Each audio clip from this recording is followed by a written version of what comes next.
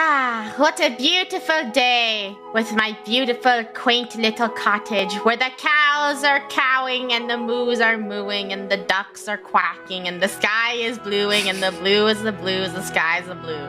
I hope nothing goes wrong to wreck this perfect day. or else I'll be very sad. Oh no.